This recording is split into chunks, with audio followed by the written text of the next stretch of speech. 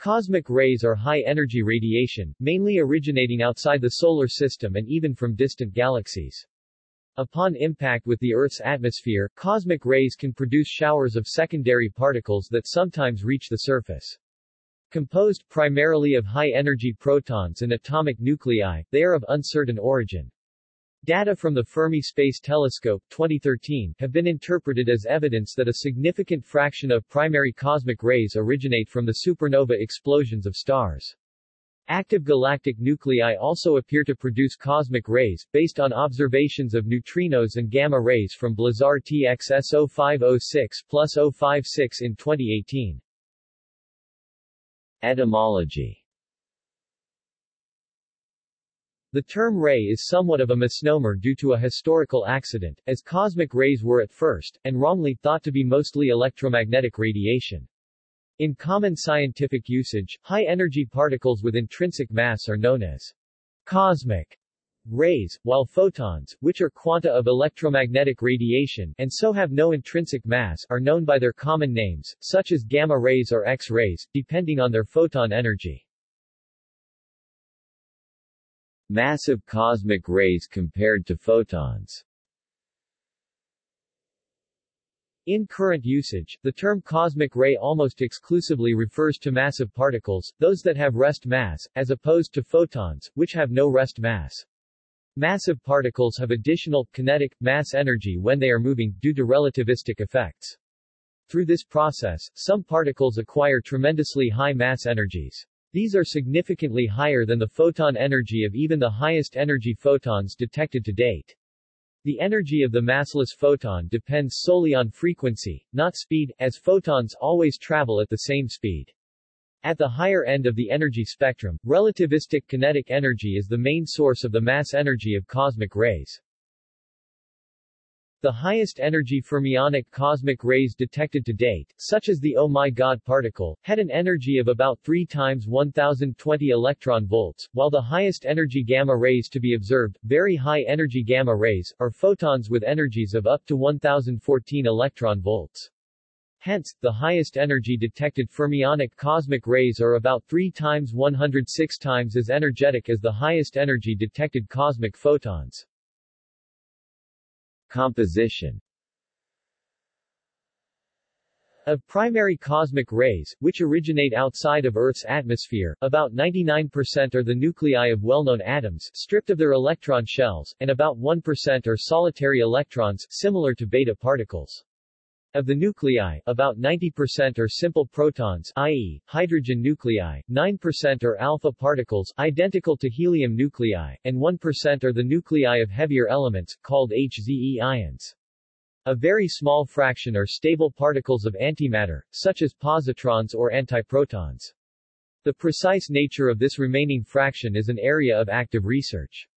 An active search from Earth orbit for anti-alpha particles has failed to detect them. Energy Cosmic rays attract great interest practically, due to the damage they inflict on microelectronics and life outside the protection of an atmosphere and magnetic field, and scientifically, because the energies of the most energetic ultra-high energy cosmic rays UHECRs, have been observed to approach 3 times 1020 electron volts, about 40 million times the energy of particles accelerated by the Large Hadron Collider. One can show that such enormous energies might be achieved by means of the centrifugal mechanism of acceleration in active galactic nuclei. At 50 J, the highest energy ultra-high energy cosmic rays have energies comparable to the kinetic energy of a 90 km per hour 56 miles per hour baseball. As a result of these discoveries, there has been interest in investigating cosmic rays of even greater energies. Most cosmic rays, however, do not have such extreme energies. The energy distribution of cosmic rays peaks on 0.3 gigaelectronvolts, 4.8 times 10^-11 J. History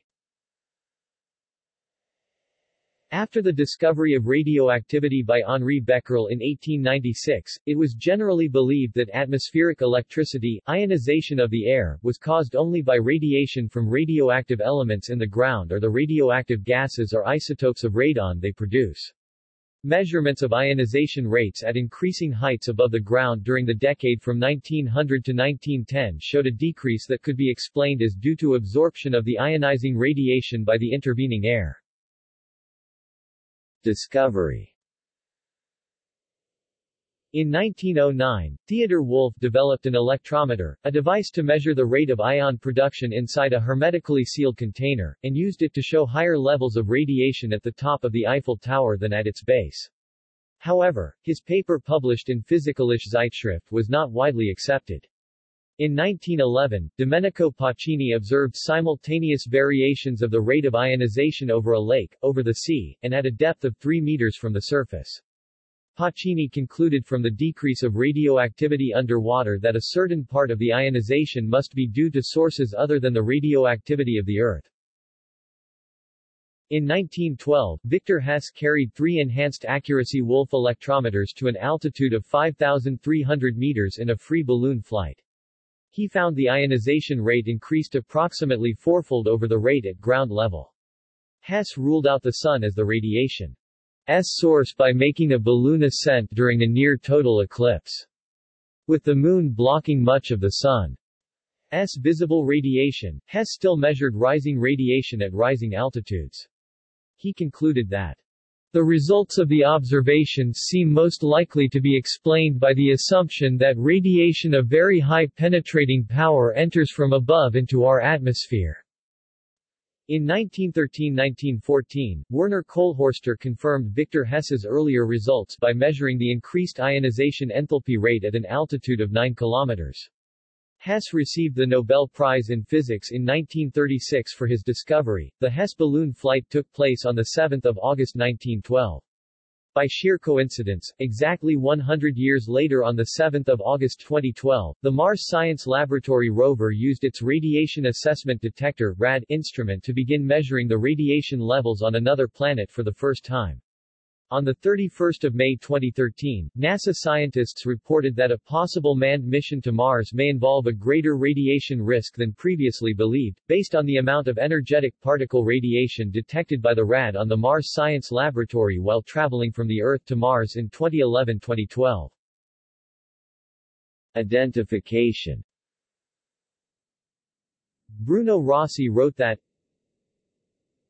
in the late 1920s and early 1930s the technique of self-recording electroscopes carried by balloons into the highest layers of the atmosphere or sunk to great depths under water was brought to an unprecedented degree of perfection by the German physicist Erich Regener and his group. To these scientists we owe some of the most accurate measurements ever made of cosmic ray ionization as a function of altitude and depth.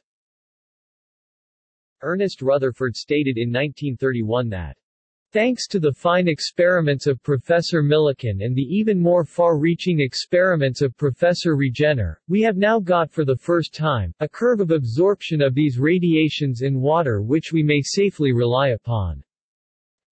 In the 1920s, the term cosmic rays was coined by Robert Millikan who made measurements of ionization due to cosmic rays from deep underwater to high altitudes and around the globe. Millikan believed that his measurements proved that the primary cosmic rays were gamma rays, i.e., energetic photons. And he proposed a theory that they were produced in interstellar space as byproducts of the fusion of hydrogen atoms into the heavier elements, and that secondary electrons were produced in the atmosphere by Compton scattering of gamma rays. But then, sailing from Java to the Netherlands in 1927, Jacob Clay found evidence, later confirmed in many experiments, of a variation of cosmic ray intensity with latitude, which indicated that the primary cosmic rays are deflected by the geomagnetic field and must therefore be charged particles, not photons. In 1929, Bothe and Kolhörster discovered charged cosmic ray particles that could penetrate 4.1 centimeters of gold. Charged particles of such high energy could not possibly be produced by photons from Millikan's proposed interstellar fusion process. In 1930, Bruno Rossi predicted a difference between the intensities of cosmic rays arriving from the east and the west that depends upon the charge of the primary particles, the so-called east-west effect, three independent experiments found that the intensity is, in fact, greater from the west, proving that most primaries are positive.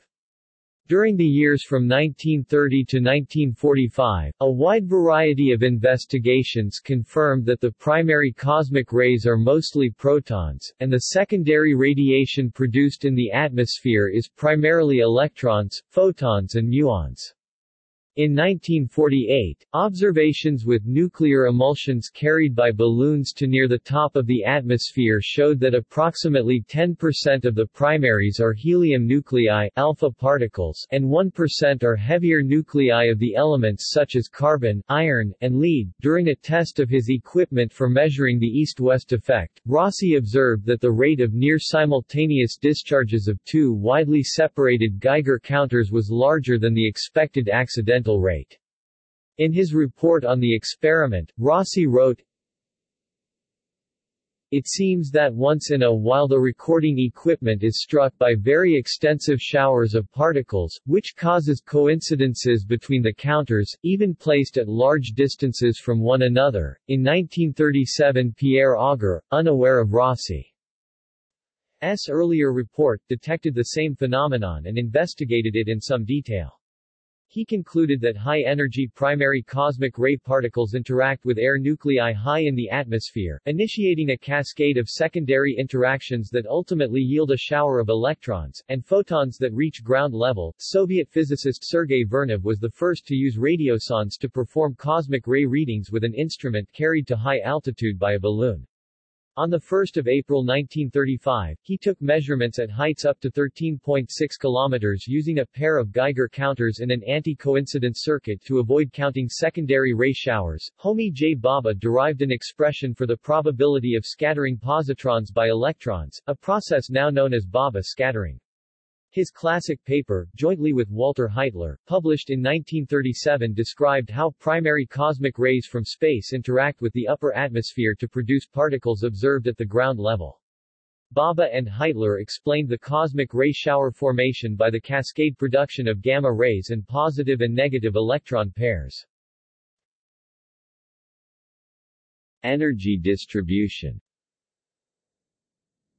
Measurements of the energy and arrival directions of the ultra-high-energy primary cosmic rays by the techniques of density sampling and fast timing of extensive air showers were first carried out in 1954 by members of the Rossi Cosmic Ray Group at the Massachusetts Institute of Technology. The experiment employed 11 scintillation detectors arranged within a circle 460 meters in diameter on the grounds of the Agassiz station of the Harvard College Observatory. From that work, and from many other experiments carried out all over the world, the energy spectrum of the primary cosmic rays is now known to extend beyond 1020 electron volts. A huge air shower experiment called the Auger Project is currently operated at a site on the pampas of Argentina by an international consortium of physicists, led by James Cronin, winner of the 1980 Nobel Prize in Physics from the University of Chicago, and Alan Watson of the University of Leeds. Their aim is to explore the properties and arrival directions of the very highest energy primary cosmic rays. The results are expected to have important implications for particle physics and cosmology, due to a theoretical Greisen-Zatsepin-Kuzmin limit to the energies of cosmic rays from long distances about 160 million light-years which occurs above 1020 electron volts because of interactions with the remnant photons from the Big Bang origin of the universe. High-energy gamma rays greater than 50 MeV photons were finally discovered in the primary cosmic radiation by an MIT experiment carried on the OSO-3 satellite in 1967. Components of both galactic and extra-galactic origins were separately identified at intensities much less than 1% of the primary charged particles. Since then, numerous satellite gamma-ray observatories have mapped the gamma-ray sky. The most recent is the Fermi Observatory, which has produced a map showing a narrow band of gamma-ray intensity produced in discrete and diffuse sources in our galaxy, and numerous point-like extragalactic sources distributed over the celestial sphere. Sources of cosmic rays Early speculation on the sources of cosmic rays included a 1934 proposal by Baade and Zwicky suggesting cosmic rays originated from supernovae. A 1948 proposal by Horace W. Babcock suggested that magnetic variable stars could be a source of cosmic rays. Subsequently, in 1951, Y.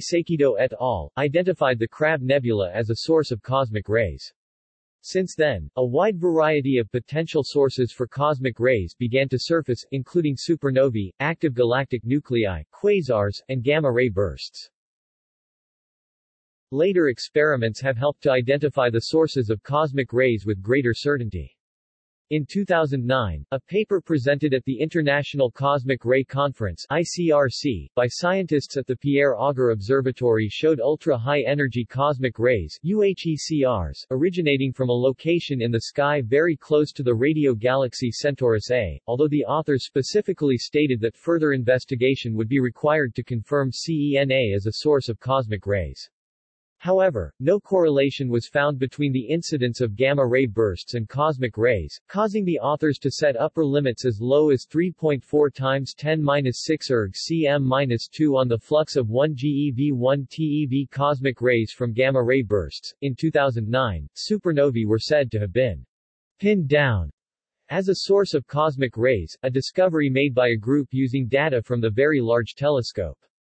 This analysis, however, was disputed in 2011 with data from PAMELA, which revealed that spectral shapes of hydrogen and helium nuclei are different and cannot be described well by a single power law, suggesting a more complex process of cosmic ray formation. In February 2013, though, research analyzing data from Fermi revealed through an observation of neutral pion decay that supernovae were indeed a source of cosmic rays, with each explosion producing roughly 3 times 1042 to 3 times 1043 J of cosmic rays. However, supernovae do not produce all cosmic rays, and the proportion of cosmic rays that they do produce is a question which cannot be answered without further study. Types Cosmic rays can be divided into two types, galactic cosmic rays GCR, high-energy particles originating outside the Solar System, and solar energetic particles, high-energy particles predominantly protons emitted by the Sun, primarily in solar particle events. However, the term cosmic ray is often used to refer to only the GCR flux. Despite the nomenclature galactic, GCRs may originate within or outside the galaxy, as discussed in the source section above. Cosmic rays originate as primary cosmic rays, which are those originally produced in various astrophysical processes. Primary cosmic rays are composed primarily of protons and alpha particles 99%, with a small amount of heavier nuclei approximately 1%, and an extremely minute proportion of positrons and antiprotons.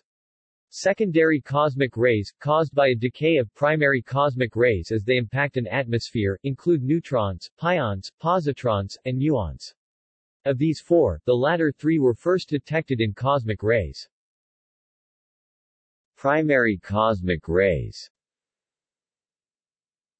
Primary cosmic rays primarily originate from outside the Solar System and sometimes even the Milky Way. When they interact with Earth, atmosphere, they are converted to secondary particles. The mass ratio of helium to hydrogen nuclei 28% is similar to the primordial elemental abundance ratio of these elements, 24%. The remaining fraction is made up of the other heavier nuclei that are typical nucleosynthesis end products, primarily lithium, beryllium, and boron. These nuclei appear in cosmic rays in much greater abundance approximately 1% than in the solar atmosphere, where they are only about 10-11 as abundant as helium. Cosmic rays made up of charged nuclei heavier than helium are called HZE ions. Due to the high charge and heavy nature of HZE ions, their contribution to an astronaut S radiation dose in space is significant even though they are relatively scarce. This abundance difference is a result of the way secondary cosmic rays are formed. Carbon and oxygen nuclei collide with interstellar matter to form lithium, beryllium and boron in a process termed cosmic ray spallation. Spallation is also responsible for the abundances of scandium, titanium, vanadium, and manganese ions in cosmic rays produced by collisions of iron and nickel nuclei with interstellar matter. Primary cosmic ray antimatter Satellite experiments have found evidence of positrons and a few antiprotons in primary cosmic rays, amounting to less than 1% of the particles in primary cosmic rays. These do not appear to be the products of large amounts of antimatter from the Big Bang, or indeed complex antimatter in the universe. Rather, they appear to consist of only these two elementary particles, newly made in energetic processes.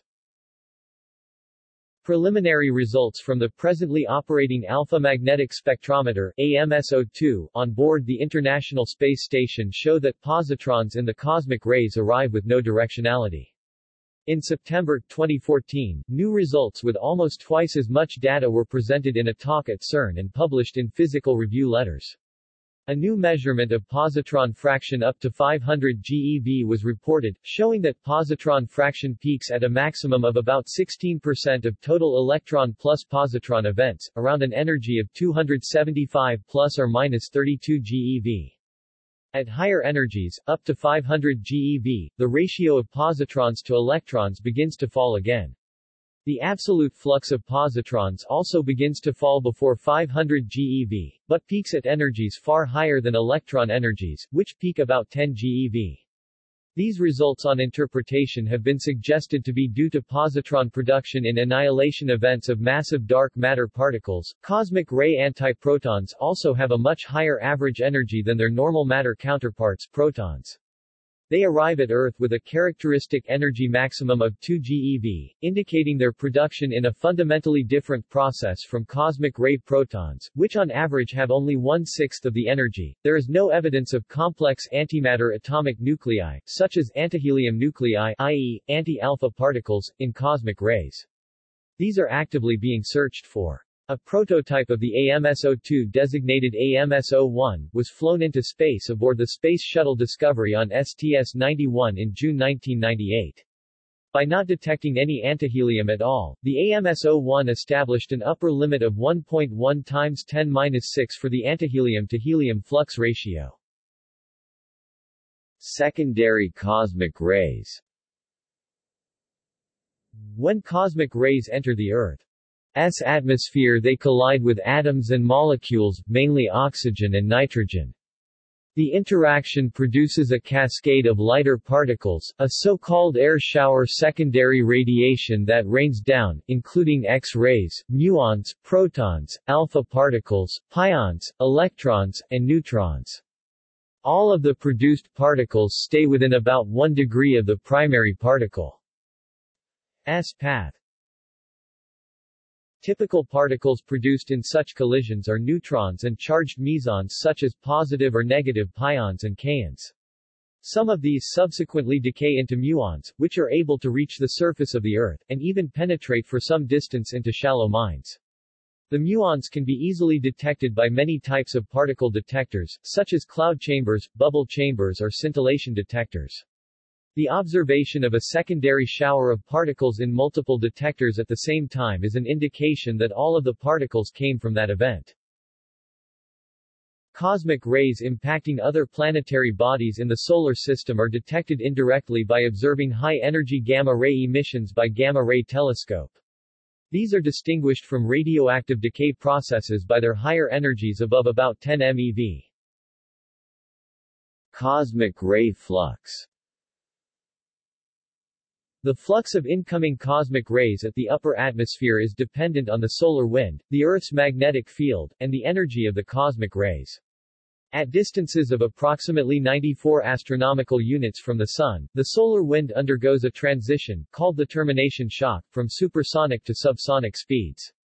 The region between the termination shock and the heliopause acts as a barrier to cosmic rays, decreasing the flux at lower energies 1 GeV by about 90%. However, the strength of the solar wind is not constant, and hence it has been observed that cosmic ray flux is correlated with solar activity. In addition, the Earth's magnetic field acts to deflect cosmic rays from its surface, giving rise to the observation that the flux is apparently dependent on latitude, longitude, and azimuth angle. The combined effects of all of the factors mentioned contribute to the flux of cosmic rays at Earth's surface. The following table of participial frequencies reach the planet and are inferred from lower energy radiation reaching the ground. In the past, it was believed that the cosmic ray flux remained fairly constant over time.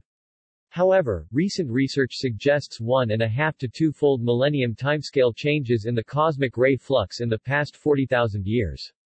The magnitude of the energy of cosmic ray flux in interstellar space is very comparable to that of other deep space energies. Cosmic ray energy density averages about 1 electron volt per cubic centimeter of interstellar space, or approximately 1 electron volt per cc, which is comparable to the energy density of visible starlight at 0.3 electron volts per cc. The galactic magnetic field energy density, assumed 3 microgauss, which is approximately 0.25 electron volts per cc, or the cosmic microwave background CMB, radiation energy density at approximately 0.25 electron volts per cc. Detection methods There are several ground-based methods of detecting cosmic rays currently in use. The first detection method is called the Air Cherenkov telescope, designed to detect low-energy, extensive air shower EAS arrays. A second detection method, measure the charged particles which pass through them. EAS arrays measure much higher energy cosmic rays than Air Cherenkov telescopes, and can observe a broad area of the sky and can be active about 90% of the time. However, they are less able to segregate background effects from cosmic rays than can Air Cherenkov telescopes. EAS arrays employ plastic scintillators in order to detect particles. Another method was developed by Robert Fleischer, P. Buford Price, and Robert M. Walker for use in high-altitude balloons. In this method, sheets of clear plastic, like 0.25 mm Lexan polycarbonate, are stacked together and exposed directly to cosmic rays in space or high altitude. The nuclear charge causes chemical bond breaking or ionization in the plastic. At the top of the plastic stack the ionization is less, due to the high cosmic ray speed. As the cosmic ray speed decreases due to deceleration in the stack, the ionization increases along the path. The resulting plastic sheets are etched, or slowly dissolved in warm caustic sodium hydroxide solution, that removes the surface material at a slow, known rate. The caustic sodium hydroxide dissolves the plastic at a faster rate along the path of the ionized plastic. The net result is a conical etch pit in the plastic. The etch pits are measured under a high-power microscope, typically 1600 times oil immersion, and the etch rate is plotted as a function of the depth in the stacked plastic. This technique yields a unique curve for each atomic nucleus from 1 to 92, allowing identification of both the charge and energy of the cosmic ray that traverses the plastic stack. The more extensive the ionization along the path, the higher the charge. In addition to its uses for cosmic ray detection, the technique is also used to detect nuclei created as products of nuclear fission. A fourth method involves the use of cloud chambers to detect the secondary muons created when a pion decays. Cloud chambers in particular can be built from widely available materials and can be constructed even in a high school laboratory. A fifth method, involving bubble chambers, can be used to detect cosmic ray particles. Another method detects the light from nitrogen fluorescence caused by the excitation of nitrogen in the atmosphere by the shower of particles moving through the atmosphere. This method allows for accurate detection of the direction from which the cosmic ray came. Finally, the CMOS devices in pervasive smartphone cameras have been proposed as a practical distributed network to detect air showers from ultra-high-energy cosmic rays UHECRs, which is at least comparable with that of conventional cosmic ray detectors. The app, which is currently in beta and accepting applications, is CRAYFIS cosmic rays found in smartphones. Effects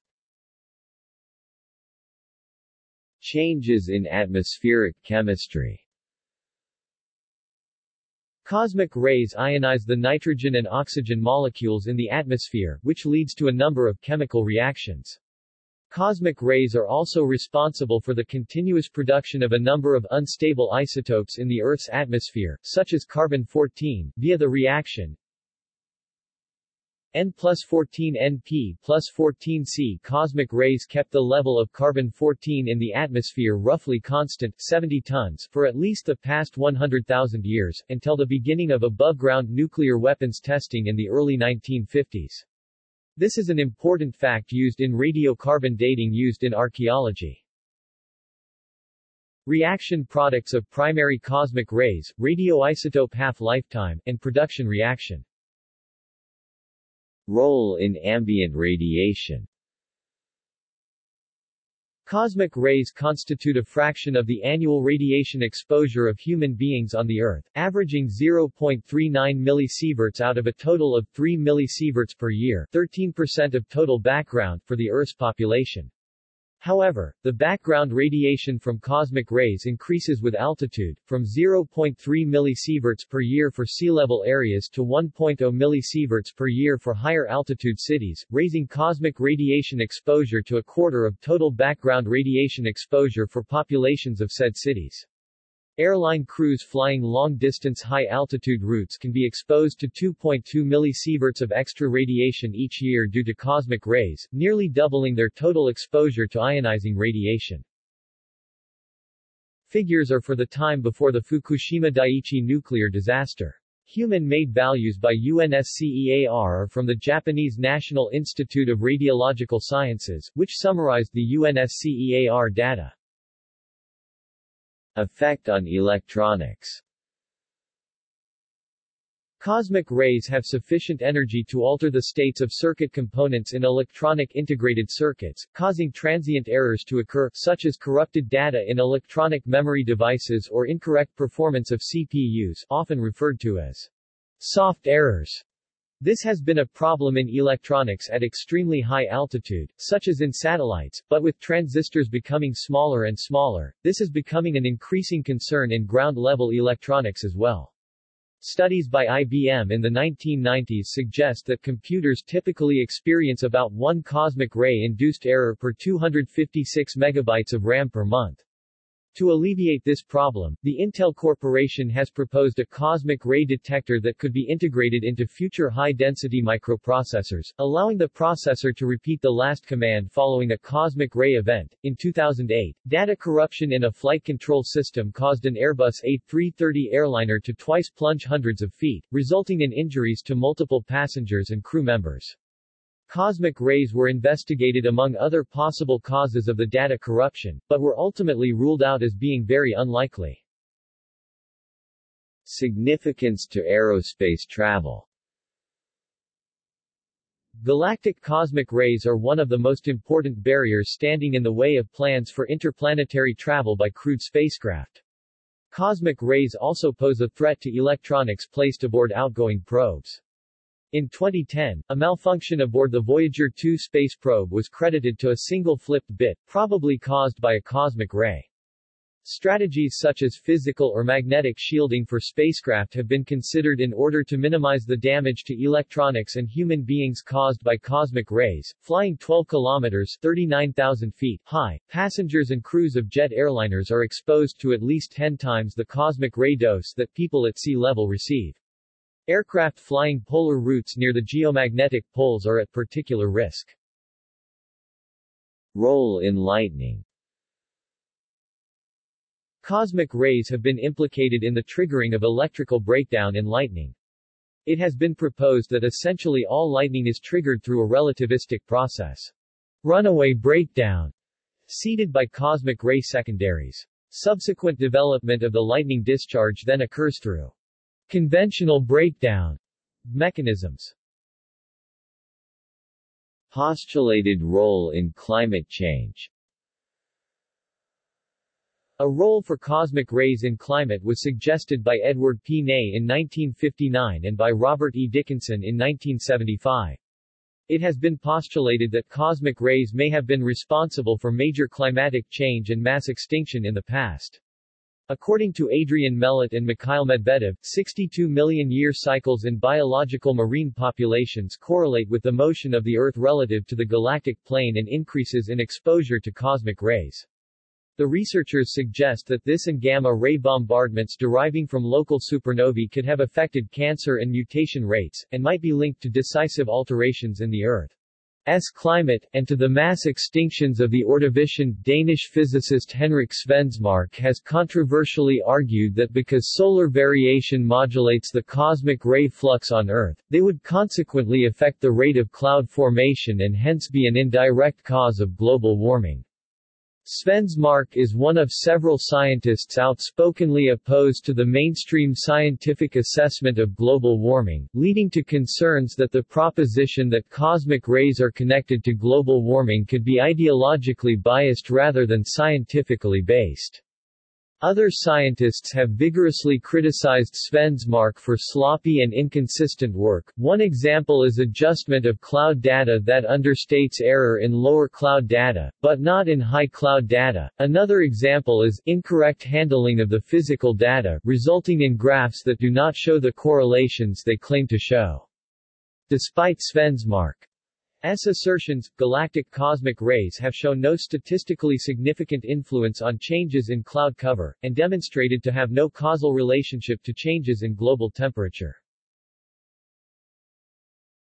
Research and experiments There are a number of cosmic ray research initiatives, listed below. Ground-based Satellite. Balloon-borne See also. Central nervous system effects from radiation exposure during spaceflight.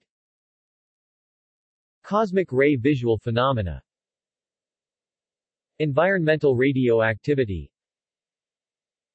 Extragalactic cosmic ray Forbush decrease. Gilbert Jerome Perlow. Health threat from cosmic rays. Oh my God particle. Solar energetic particle. Track imaging Cherenkov experiment. Ultra high energy cosmic ray UHECR References Further references.